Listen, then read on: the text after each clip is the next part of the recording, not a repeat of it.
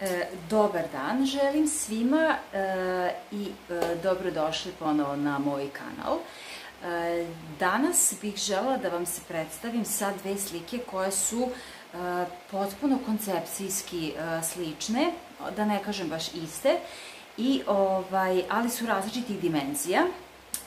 I evo, ajde znači, da počnem. U pitanju su mačke. Znači, to su moje omiljene životinje. Prvo mačke kao papas. E dobro, evo ovako, ovde vidimo znači dve, dve mace, da približim. E, dimenzije su 40 puta 40. E, e sad kako sam e, započela sliku? E, slika je prvo e, rađena znači sunđerom, onako razređen tuš, znači u vodi, to je bila podloga. E, onda sam dalje izvukla konture, pa uh, nešto malo beton bojom, znači, pa sam onda špahlom, uh, akrilnom bojom radila i onda kada je sve bilo suvo, lazurno prstima sam prelazila, znači, uljanom bojom i izvukla sam ove crne konture, znači, poznate crne konture, da bi to dobilo, znači, dubinu.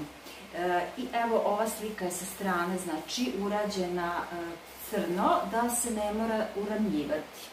Znači 40 puta 40, dok je druga slika, e, takođe mačka, e, ovako, jedna maca koja izviruje, tako ne valjalo, e, sa spiralno uvijenim, znači, repom. Malo ovako deluje, e, jedna i druga slika deluju kao da su, e, kao da je u pitanju mozaika.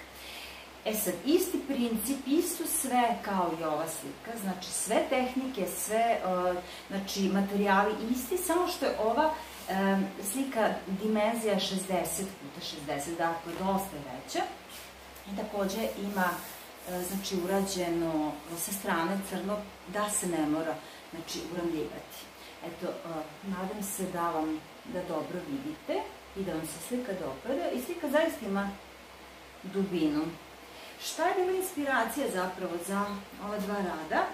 E, ja inače u kući dosta posjedujem nekih predmeta koji e, su vezani za e, stare drevne civilizacije. Ovo je mesopotamski fazon i zna se da se u Mesopotamiji dosta koristila plava boja, zatim zlatna boja tako dalje. I jedan od mojih omiljenih, omiljenog poludragog kamenja jeste lapis lazuli. E, tako da je to meni neka, znači, inspiracija bila. Znači da e, pored figurica i ne znam još čega sve, nakita, recimo, neke bižuterije, e, ove kovečine na platnu, znači u vidu slike. Dakle, evo, njih dve. Nadam se da su vam se dopale.